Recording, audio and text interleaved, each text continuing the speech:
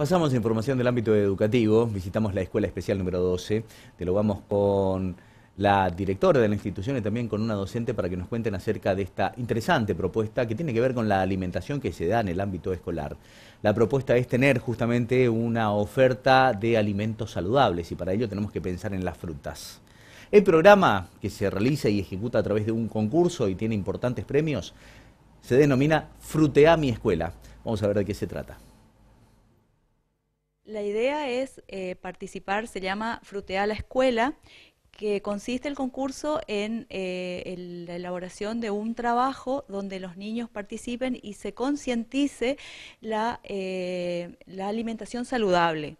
¿Esto qué quiere decir? Que en lugar de comer tantas golosinas o ofrecer tantas golosinas, se ofrezca frutas y otro tipo de alimentos más saludables, tanto para los niños en sus casas, que vayan aprendiendo a comer mejor, alimentarse mejor, y también eh, que el kiosco de la escuela sea un kiosco saludable, se ofrezca, que se salada de frutas, gelatinas, otro tipo de alimentos y no tanta golosina eh, que, que hacen mal a la salud por ahí, ¿no? ¿Es un desafío importante para ustedes como institución participar de un concurso así?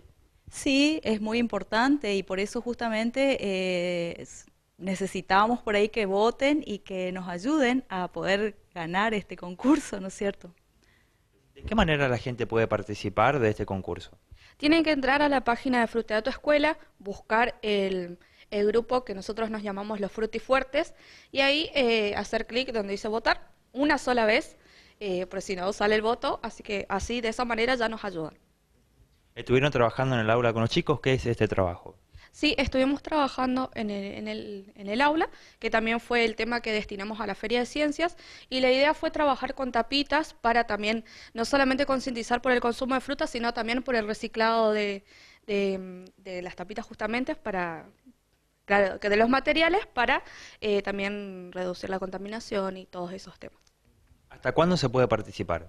Tenemos, tienen tiempo de votar hasta el 17 de octubre, así que hay tiempo todavía. Y puede que la página, eh, como entran tantas personas, hay tantos trabajos de primaria, puede ser que la página colapse, así que hay que eh, mirarla cada tanto durante el día.